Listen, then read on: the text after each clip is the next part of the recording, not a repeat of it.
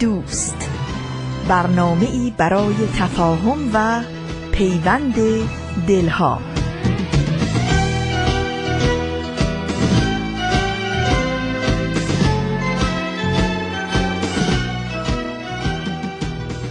محبت نور است در هر خانه بتابد. درود بر آشنایان و همزبانان شنونده. به رادیوی پیام دوست خوش آمدید. شکوه رضایی هستم و از شما دعوت می کنم برنامه های ما را بشنوید و نظریاتتان را ابراز بفرمایید. تلفن ما 703 671 88 88 است. دوستان عزیز با گسترش روزافزون دانش بشری اهل فن میباید مرتبا دائرت المعارف یا دانشنامه ها را تصحیح و تجدید کنند و یا چیزی بر آنها بیافزایند. می‌دانیم که برای اطلاعات و آگاهی در مورد اغلب علوم و فنون و رشته های دانش بشری بهترین راه مراجعه به دائرت المعارف هاست. خوب است امروز در مورد این وسیله با ارزش جستجو و تحقیق صحبت کنیم. این صحبت بر اساس مقاله است از نشریه دانش و بینش جلد سوم که از انتشارات جامعه بین المللی بهایی است. امیدواریم گزیده ما را از این مقاله بپسندید.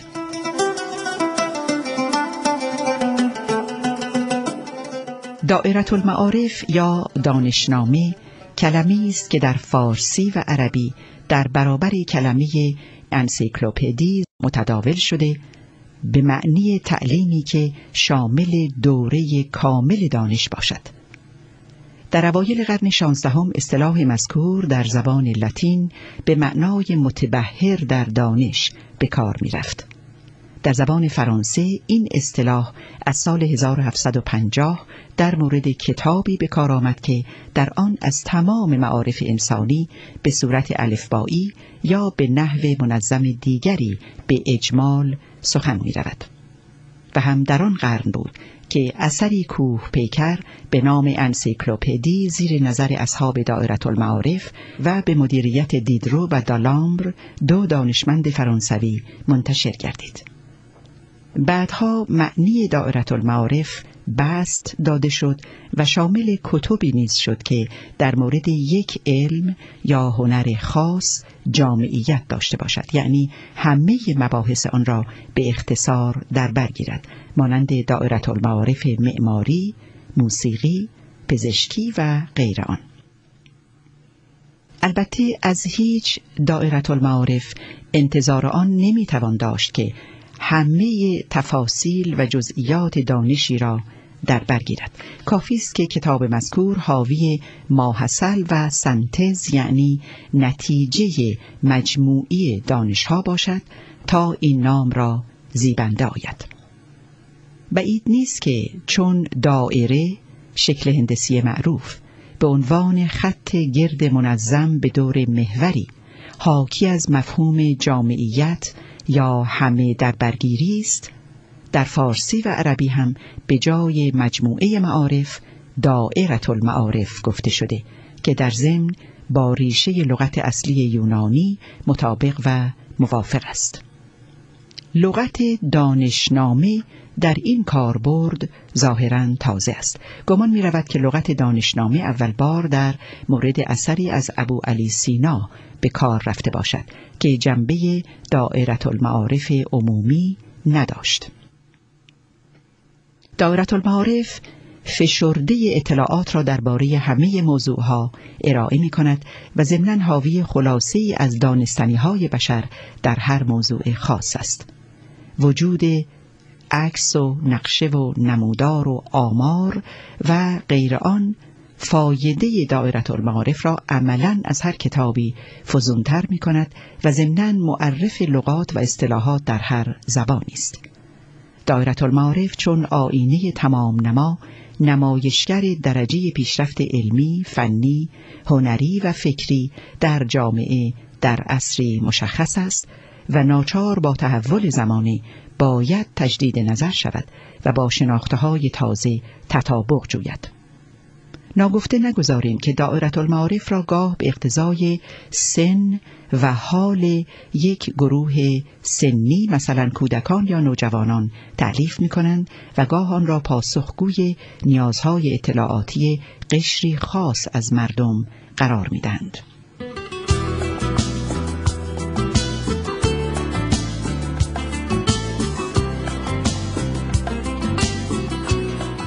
خب دوستان عزیز آنچه شنیدید گزیده ای بود از مقاله‌ای که در مجله دانش و بینش منتشر شده است. با برنامه امروز ما همراه باشید.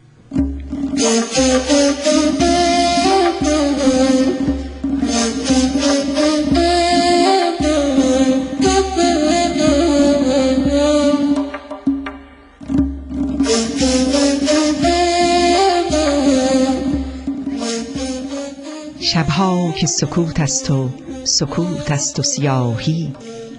آوای تو میخواندم از لایتناهی. آوای تو می آردم از شوق به پرواز. شبها که سکوت است و سکوت است و سیاهی. امواج نوای تو به من می‌رسد از دور. دریایی و من تشنه مهر تو چو ماهی. وین شعله که با هر نفسم می جهد از جان خوش می دهد از گرمی این شوق گواهی. دیدار تو گر صبح ابد هم دهدم دست من سرخوشم از لذت این چشم براهی. ای عشق تو را دارم و دارای جهانم. همواره تویی هرچه تو گویی و تو خواهی.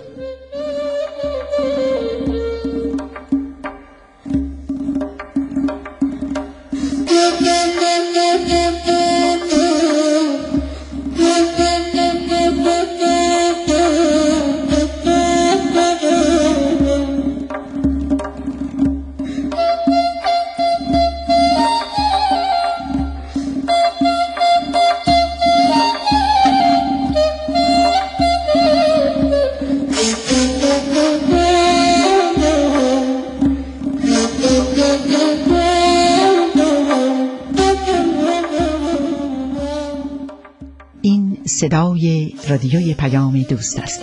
شنوندگان ارجمند در بخش گفتگوی رادیویی امروز میهمان عالی قدری داریم که در نشستی با ما از اهمیت ایران عزیز از دیدگاه دیانت بهایی سخن می‌گویند. استاد ارجمند و محقق گرامی آقای دکتر امین بنانی.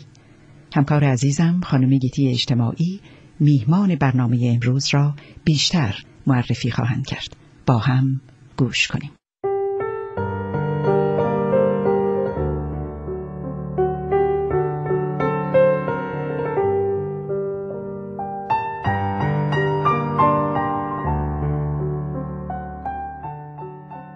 شنوندگان عزیز درودهای پرمهرمان نصارتان که همواره ما را با پیامهای محبت آمیز و دلگرم کننده خود تشویق می کنید و به ادامه این خدمت ترغیب. امیدواریم همیشه بتوانیم رضایت خاطر شما را جلب کنیم.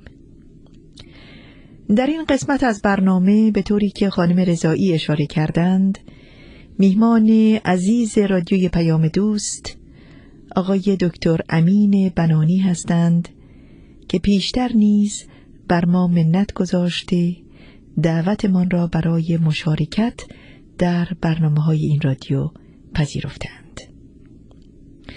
آقای دکتر بنانی استاد ممتاز تاریخ خاورمیانه در دانشگاه معتبر UCLA یا دانشگاه کالیفرنیا در لس آنجلس هستند. آقای دکتر بنانی در برنامه امروز در راستای تخصص خود ما را بیشتر با اهمیت ایران از دیدگاه آین بهایی آشنا می سازند. به طوری که شنوندگان عزیز می دانند، دیانت بهایی از خاک پرمهر و مقدس ایران برخواسته و بهایان سراسر جهان این سرزمین را عزیز و بسیار محترم می شمرند. چه که در آثار بهایی به دفعات به آینده درخشان ایران اشاره شده است در یکی از آثارشان حضرت عبدالبها چنین می‌فرمایند ای یاران مژده باد شما را که ایران به پرتو بخشش خداوند مهربان ترقی عظیم نماید و جنت النعیم گردد. بلکه امید چنین است که در آینده قبطه روی زمین شود و نفحه مشکین ایران خاور و باختر را معطر نماید.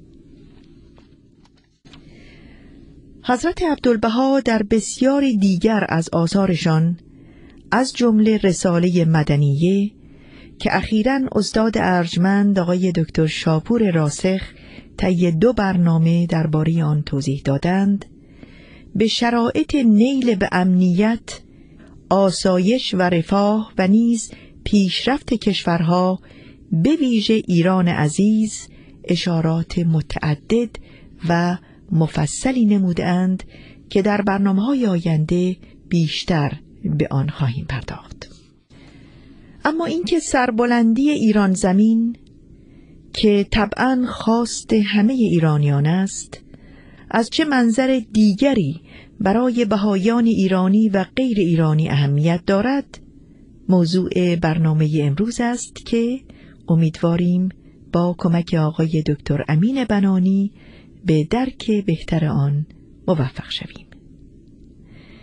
آقای دکتر بنانی بسیار سپاسگزارتان هستیم که بار دیگر با پیام دوست به گفتگو نشسته اید خانم اجتماعی و شنوندگان عزیز من هم از این فرصتی که دوباره به دست آمده بسیار سپاسگزار هستم و امیدوارم که این دقایق رو با دوستان راجع به این مطالب بررسی بکنیم. این مطلبی که شما پیش آوردید یعنی این سوالی که پیش آوردید در واقع جوابش رو در همون سخنان زیبایی که از قلم از عبدالبها صادر شده دادید. ما فقط می‌تونیم یک مقدار حالا بست بدیم این مطالب ولی قصه اساس و زیباترین مغزش رو همون در اون بیانات ما ملاحظه کردیم که از چند جهت اهمیت ایران رو میشه نگاه کرد. یکی صرفا این که خب این محل طلوع این آفتاب حقیقت هست و طبیعتا صبحگاه نباید از جاهای دیگه تاریکتر بمونه بلکه روشنتر. و این امیدی است که ما همه بهاییان داریم. از نظر دیگه این واقعا یک نمونه از میهن دوستی واقعی است. که در آثار هست عبدالبها دیده میشه و انعکاسش در قلب بهاییان همه دنیا هست. و از وقتها این شبه پیش میاد که چون ما بهاییان دوستدار همه نوع بشر هستیم و برای ما مرزی در این جهان وجود نداره بعضی از دوستان ما فکر می‌کنن که خب ما توجهی به میهن خودمون نداریم و اونطوری که باید دوست نداریم. ولی وقتی این آثار رو مطالعه بکنیم به انصاف می‌بینیم که واقعا سالمترین و تمیزترین نمونه میهن دوستی در این بیانات هست. اینم یک زاویه دیگه نگرش هست. و خب طبیعتا کشوری که از حیث طبیعت و منابع و نیروهای انسانی از هیچ جای دنیا عقب نیست. با این تعالیم و آرمانهای آینده نگر و سازنده ای که در آین بهایی هست خیلی آسون می‌تونه پیش بیفته. و یه مطلب دیگه هم که شما اشاره فرمودین که برای دوستان و شنوندگان ما خیلی جالب هست و باز دوباره دربارش فکر بکنن خیلی از دوستان برمیخوریم که فکر می‌کنن که باهایی فقط یه عده ایرانی هستن و حال که الان اکثریت جمعیت باهایی دنیا ایرانی نیستن ولی برای همه اونها ایران یک وطن مقدسی است. و این مسئله مخصوصا در زمانهایی که به دلایل مختلف یک مقداری اشکالاتی پیش میاد و بعضی از ما ایرانیا اون احساس سربلندی خودمون رو تبدیل می‌کنیم به یک شرمندگی. شما می‌بینید که تمام بهاییان عالم ایران رو یک کشور مقدسی می‌دونن و دوست دارن و اون رسوم و آینهای ایرانی که در آین بهایی تثبیت شده و یک نوع زندگی تازه گرفته مثل مثلا جشن نوروز شما بکنید در همه جای دنیا بهاییان جشن نوروز رو عید می‌گیرن. چرا؟ برای اینکه این عید باستانی ایرانی رو حضرت الله اول سال بهایی هم قرار دادن و می‌بینید که در خلال رو آوردن به این تجدد و آینده نگری آین بهایی یک مقدار از سوابق زیبا و حفظ کردنی گذشته ما هم با هویت ایرانی حفظ شده. کاملا همینطوره که میفرمایید. در رابطه با وطن دوستی آقای دکتر بنانی به موضوع بسیار مهمی اشاره کردید. که شاید جا داشته باشد که قدری بیشتر درباره آن صحبت کنیم. اینکه وطن دوستی یعنی عشق ورزی به وطن هیچ گونه مقایرتی با جهان دوستی و عشق ورزی به همه انسانهای روی زمین از هر رنگ و قوم و نژاد و قبیله ندارد. جامعه بهایی ثابت کرده است که هر فردی از ساکنان این کره خاکی در هر گوشه جهان که زندگی کند می‌تواند هم وطن خود را دوست داشته باشد و صادقانه به آن خدمت کند. ویژگی های فرهنگی خود را ارج نهد و هم در یک فرهنگ والاتر جهانی بر پایه اخلاقیات جهان شمول. از جمله راستی، امانت، صدق و صفا، عدالت و برابری و یکرنگی دست همکاری به سوی هم نوع خود دراز کند و جملگی در سازندگی این دهکده جهانی کوشا باشند. حال در چنین شرایطی ضمن اینکه هر بهایی غیر ایرانی وطن خود را دوست می‌دارد ایران را به ویژه عزیز و محترم می شمارد زیرا وطن حضرت بهاءالله مؤسس آین بهایی است. آین صلح و دوستی که انسانها را در همزیستی مسالمت آمیز با یکدیگر راهنما و راهبر است با این توضیح برای آن دسته از شنوندگان عزیزی که گاه پرسشی درباره وطن دوستی و جهان دوستی مطرح می کنند می‌خواستم آقای دکتر بنانی سوال بعدی رو با شما مطرح کنم. با خواندن این مطلب از حضرت عبدالبها که به گونه ای به ماهیت این وطن دوستی مربوط می شود خواهش می‌کنم. حضرت عبدالبها در یکی از آثارشان ضمن اشاره به اینکه بهایان به هیچ حزب و دسته ای وابسته نبوده و نیستند و اینکه آرزو و تلاششان صرفاً پیشرفت و اطلاع همه انسان هاست به ویژه در اشاره به ایران چنین می‌فرمایند. در هر آن میکوشیم که بنیه ایران قوت گیرد. و معلوم است قوت بنیه ایران جز به تأسیس اخلاق الهی ممکن نه. چون تعدیل و تأسیس اخلاق گردد ترقی در جمیع مراتب محتوم است. هیچ ملتی بدون تعدیل اخلاق فلاح و نجاح نیابد و به تحسین اخلاق علوم و فنون رواج یابد و افکار بی نهایت روشن گردد. صداقت و امانت و حماست و غیرت و همیت بجوشد. سیاست به درجه نهایت رسد. صنایع بدیعه رواج یابد. تجارت اتساع جوید. شجاعت علم افرازد. آقای دکتر بنانی اگر ممکن هست قدری درباره این بیان توضیح بدید و بفرمایید که اخلاق الهی که حضرت عبدالبها به آن اشاره می‌فرمایند دارای چه ویژگی و کیفیتی است؟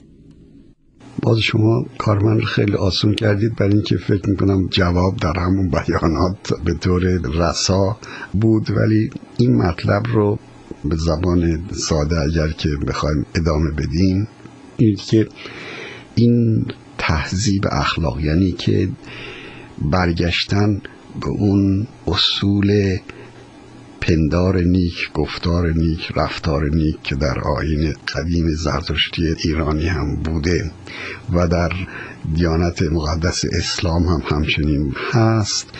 اینها مطالبی است که لزوم به احیا و تجدید هست. یکی از علل این که این هدایت های الهی تجدید میشه در ادوار مختلف. همین این هست که این حس راستی و این حس وجدان انسان که ممکنه در طول زمان دچار یک آسیب های شده باشه این دوباره سالم بشه و تمام به رفتار انسان رو هدایت بکنه. و ما می‌بینیم که پیشرفت های فنی مادی اینها همه میسر هست. ولی هیچ کدوم سعادت بشری رو سبب نمیشه. و این ارتباط بین اخلاق و پیشرفت یه چیزی است که دانشمندان بهش توجه بیشتری باید بکنن. و این من نمی‌دونم چطور میشه بهتر از اون بیاناتی که شما خوندید راجع به این مطلب صحبت کرد. اجازه بدید آقای دکتر بنانی که توجهمون رو به موضوع دیگری در همین راستا معطوف داریم و آن موضوع زبان فارسی است و اهمیت آن در آثار دیانت بهایی که البته می‌دانیم این آثار هم به فارسی و هم به عربی نازل شده است. تأکید بر لزوم فراگیری زبان فارسی به کرات در آثار بهایی به چشم می‌خورد. هم حضرت بهاءالله و هم حضرت عبدالبها به این امر اشاره کردند. در یکی از آثار بهایی آمده است همت نما که زبان پارسی بیاموزی. زیرا این لسان انقریب در جمیع عالم تقدیس خواهد شد. با توجه به این اثر آقای دکتر بنانی اگر ممکن هست قدری در باره اهمیت زبان فارسی در آثار بهایی و اینکه چرا این آثار به هر دو زبان فارسی و عربی نازل شده است توضیح بدید. می‌دونید که دیانت بهایی در محیط فرهنگ اسلامی ایرانی به وجود آمده.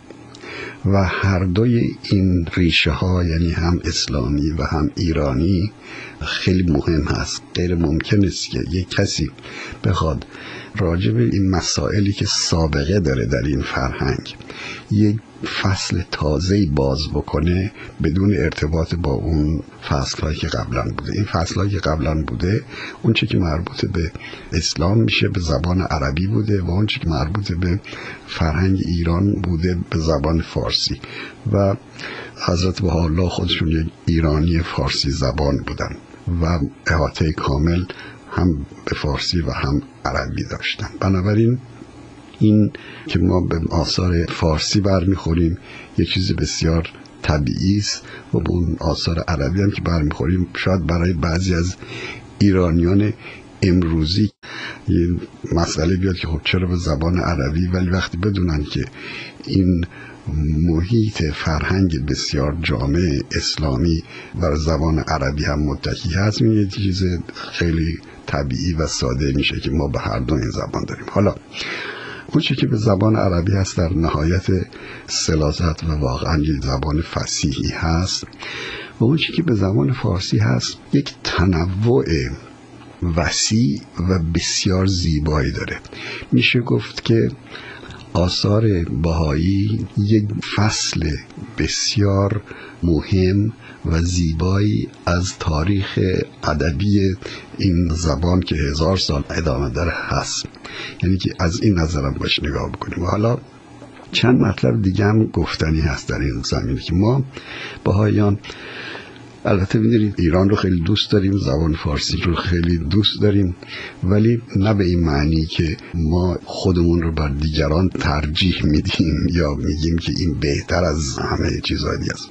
از اون گذشته یکی از تعالیم خیلی زیبا و مؤثر هست و حالا این است که برای ایجاد همبستگی بین مردم دنیا لازم هست که ما یک زبان دومی هم بیاموزیم که همه جای دنیا یکی باشه. یعنی که علاوه بر زبان مادری خودمون همه کسی یک زبان دوم بین المللی هم بیاموزه. حالا این زبان یا زبان اختراعی ممکنه باشه مثل یک چیزی مثل اسپرانتو یا یکی از زبانهای موجود دنیا که از بارهای سیاسی و اینهای خودش خالی بشه ممکنه انتخاب بشه. بنابراین ما به همچین اصلی معتقد هستیم. ولی علاوه بر این هر کدوم از زبانها رو مخصوصا زبانهای مثل فارسی یا مثلا عربی یا انگلیسی اینهایی که دارای یک خزینه و گنجینه ادبی و فرهنگی خیلی غنی هستن اینا رو هم البته حفظ خواهیم کرد. در باره ما ایرانی ها این مسئله واقعا اهمیت خیلی زیادتری داره چون که اصلا هویت ایرانی ما در وهله اول مربوط به یک مرز جغرافیایی نیست. مربوط به یک قوم به خصوصی هم نیست. مربوط به یک فرهنگی است که فقط وجه اصطلاح تمایز و تشخصش این زبان هست. یعنی که بعضیا ملیتشون با مذهبشون آمیخته است بعضیا ملیتشون با قومیت خودشون یا با موقعیت جغرافیایی خودشون. ولی درباره ما این زبان در وهله اول معرف هویت است بنابراین در آثار بهایی به این تاکید شده و گذشته از اون فکر کنم که این زبان فارسی واقعا از هر جهت یکی از زیباترین زبان است که در دنیا از ما حالا خودمون فارسی زبان هستیم. این برداشت رو نداریم. خیلی دیگه هم که با این زبان آشنایی پیدا کردن هم از جهت به اصطلاح آوایی یعنی صدای این زبان و هم از جهت اون گنجینه هایی که در این ادبیات این زبان هست از اون شعرهای نابی که هست می‌بینیم که این یه واقعا زبان زیبا و دوست داشتنی است. بنابراین برای ما بهایی خیلی طبیعی است که در ضمن شناختن خودمون به این وجه هویت خودمون آشنا باشیم و وقتی که این آثار زیبا رو به زبان فارسی مثلا کلمات مکنونه حضرت بهاءالله رو می‌خونیم با یک بدعت ادبی زیبایی روبرو هستیم. و یه چیز دیگه هم که جالب هست این است که حضرت بهاءالله در جواب بعضی از اشخاصی که پارسی هایی که با ایشون مکاتبه کردند یک مقدار زیادی آثاری به زبان فارسی سره یعنی بدون عربی دارن. و این کاری که برای دیگران اغلب یک کار مصنوعی هست و یک زبانی به وجود میاره که ما باش آشنا نیستیم به نظر خودمون. یه مقداری باید در ذهنمون ترجمه کنیم تا متوجه باشیم.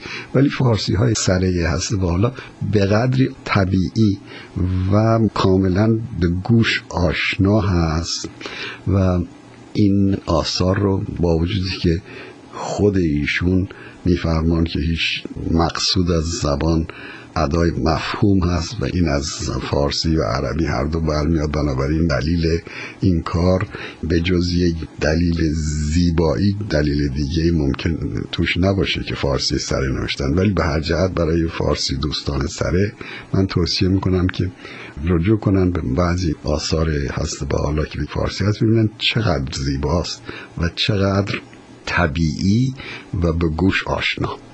دقیقا همینطوره.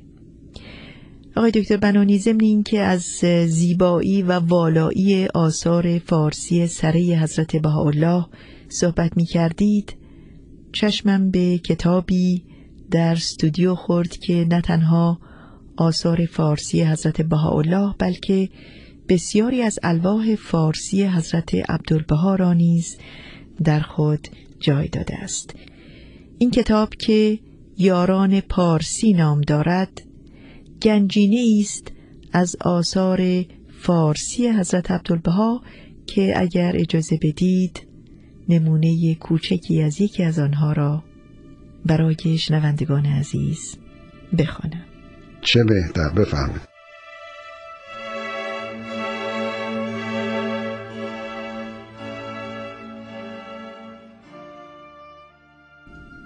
بندگان دیرین خسرو چرخ برین.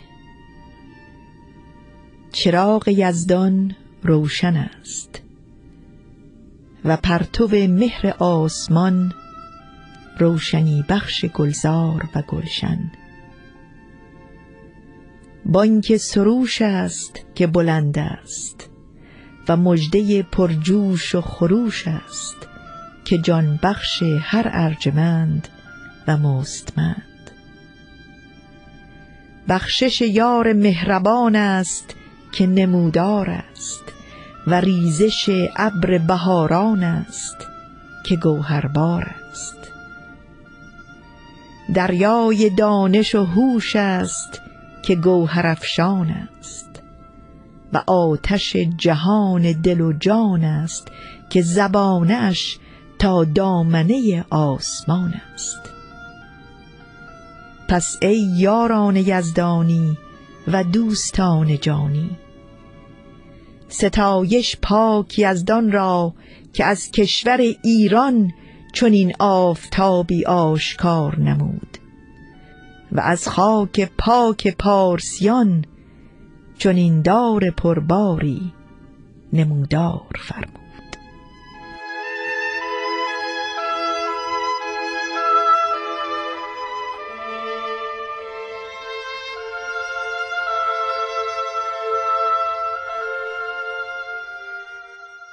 آقای دکتر بنانی بسیار سپاسگزارتان هستیم که وقت عزیزتان را در اختیار رادیوی پیام دوست گذاشتید و با ما و شنوندگان عزیزمان به صحبت نشستید.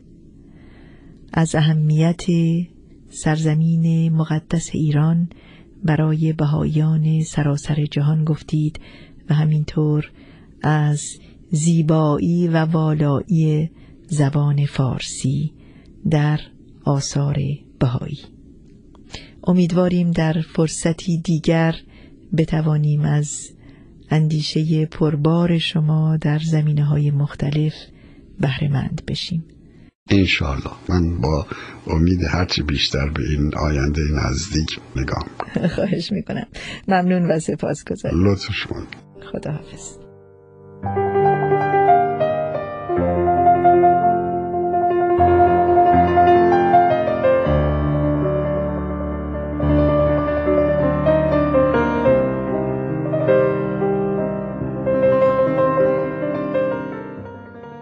آنچه شنیدید؟ شنوندگان ارجمند گفتگوی رادیویی امروز ما بود با حضور میهمان گرامیمان آقای دکتر امین بنانی.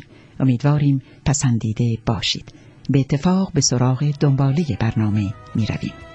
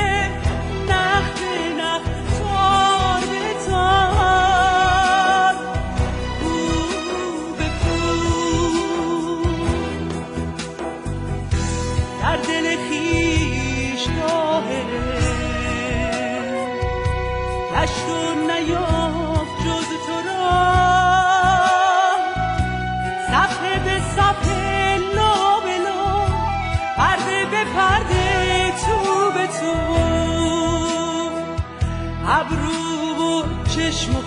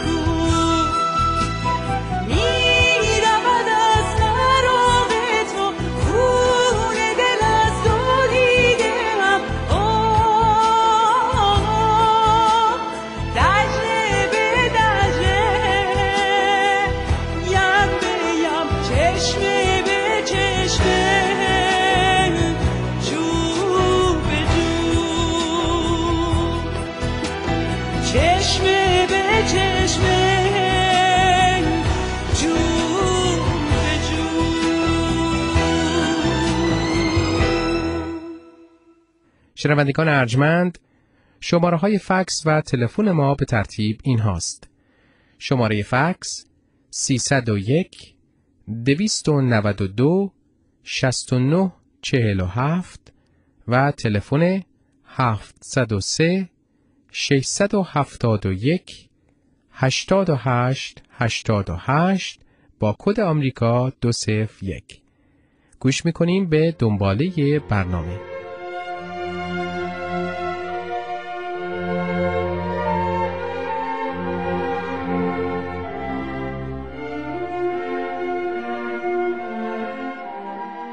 مروری در گلزار آثار آین بهایی.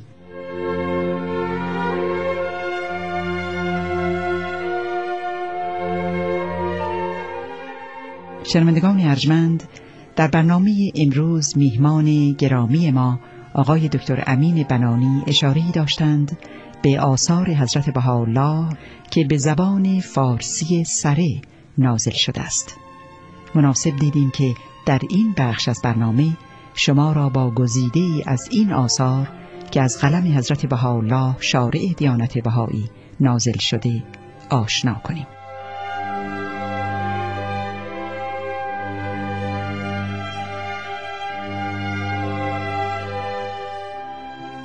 ای بندگان سخن دوست شیرین است. کو کسی که بیابد؟ کجاست گوشی که بشنود؟ نیکوست کسی که امروز با دوست پیوندد و از هرچه جزوست در رهش بگذرد و چشم پوشد. تا جهان تازه بیند و به مینوی پاینده راه یابد.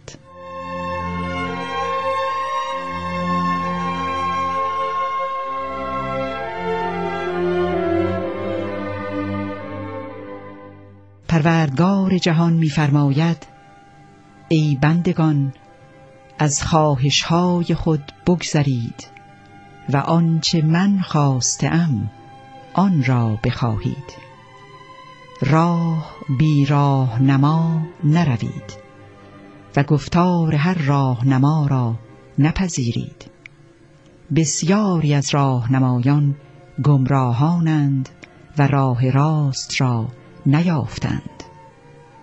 راهنما کسی است که از بند روزگار آزاد است و هیچ چیز او را از گفتار راست باز ندارد.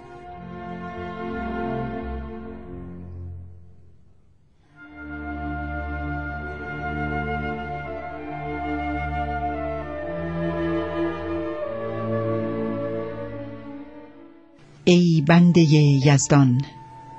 پیراهن بخشش دوخته و آماده. بگیر و بپوش و از مردمان دل بردار و چشم بپوش.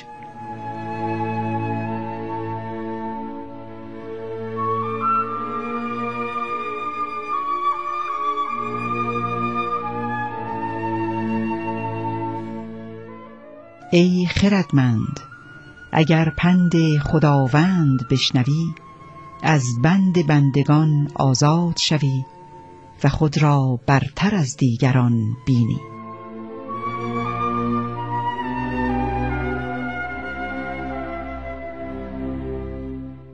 ای بنده یزدان شبنمی از دریاهای بخشش یزدان فرستادیم اگر بنوشند. و زمزمه ای از آوازهای خوش جانان آوردیم. اگر به گوش جان بشنوند. به پرهای شادمانی در هوای محبت یزدانی پرواز کن.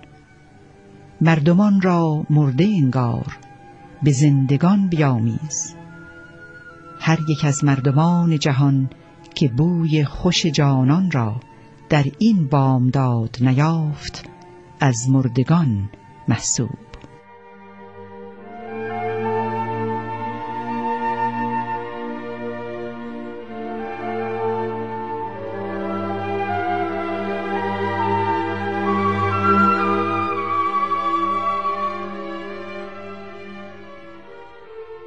دوستان عزیز از توجه شما به برنامه امروز سپاس گذاریم. به قول شاعر از آن به دیر مقانم عزیز می‌دارند که آتشی که نمیرد همیشه در دل ماست. این آتش مهر شما و عشق حضور شما در برنامه های رادیوی پیام دوست است. امیدواریم با ما همراه باشید و شنونده ما. خدا نگهدار تا برنامه دیگر. ای دوست در روزه قلب جز گل عشق مکار